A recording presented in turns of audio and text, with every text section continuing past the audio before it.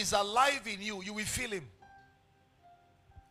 But if it's not in you, you will also feel his absence. And one of the ways you know that Jesus is not in you is a feeling of emptiness. A feeling of emptiness. That feeling of emptiness is the feeling of death. A feeling of void. A feeling of vacancy. A feeling of lifelessness. A feeling of dryness. A feeling of deadness. Maybe you're here this morning, you're feeling empty, feeling dried, feeling God absent. I'd like to pray with you. You don't need to feel that way. Living in fear every moment of your life because you know your life is not secured in Him.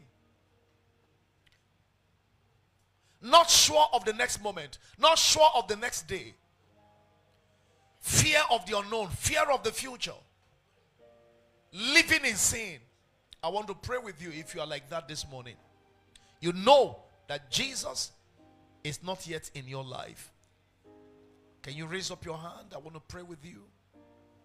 You want to surrender your life to Him? Can you raise up your hand and let me lead you to Him this morning?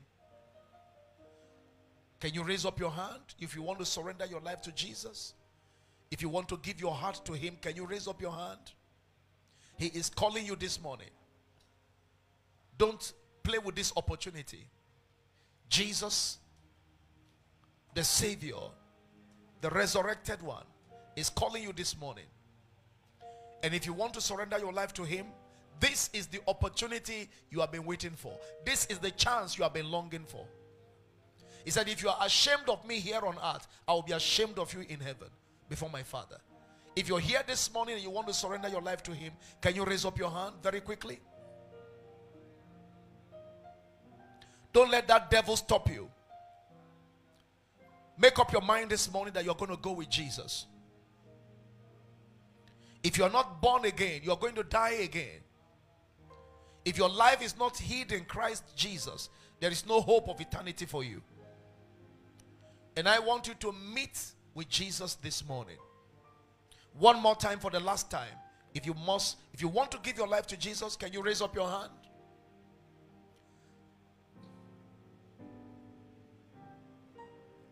All right.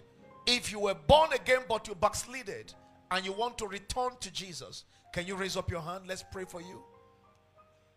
You were born again but you backslided. Can you raise up your hand? If you're raising it, can you raise it very well so that we know? Thank you, Jesus. Thank you, Jesus. If you raised up your hand and you meant it, can you come? Can you come? Can you come? Come. Come.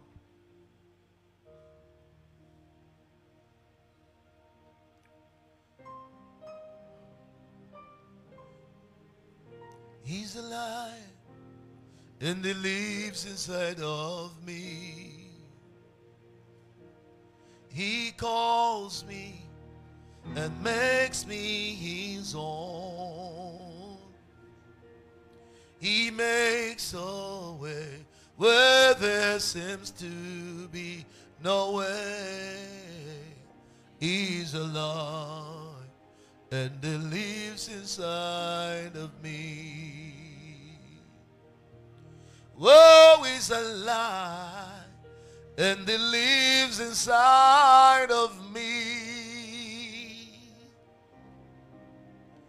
He calls me and makes me his own.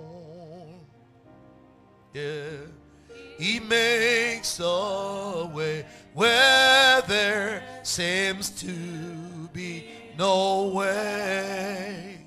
He is alive and he lives inside of me. He's alive. He's alive. He's alive. He's alive. He's alive. He's alive. He's alive. He's alive. He's alive. The tomb is empty. Yeah, he's alive. Yeah, Oh, he's alive. He's no longer where he lays. He's alive. He's alive. Oh, he's alive. Oh, the tomb is empty. Yeah, he's alive. He's alive. He's alive. Oh, my king He's alive. Yeah, he's alive. He's the lifter of my head. Yeah. He's alive. Oh, he's alive. Lifter of my soul